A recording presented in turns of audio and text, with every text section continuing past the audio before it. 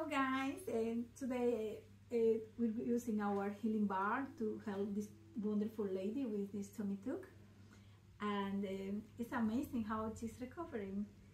She's doing very well. I'm just jealous. Now I really wish to have my tummy tuck too. Just encourage me. So uh, you can say how you how you feel now.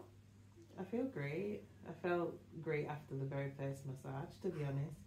It made me feel a bit relieved, not as stiff, not as tense.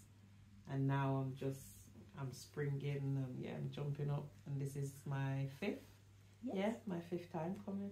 Yeah, yeah. And So, yeah. my, I believe me, I can't believe it that she's doing so good.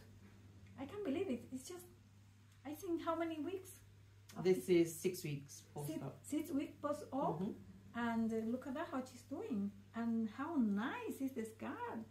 Yes, the scars. I think the massage has helped. Oh. Um, because it just seems to be a bit more like lighter to touch, and the scarring itself is is not as bad as I thought it would be.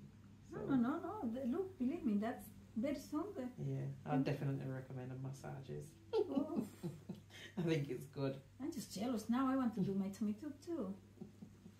Oh, I let you know, guys. If I have my tummy tuck later, I, let you know how I feel then.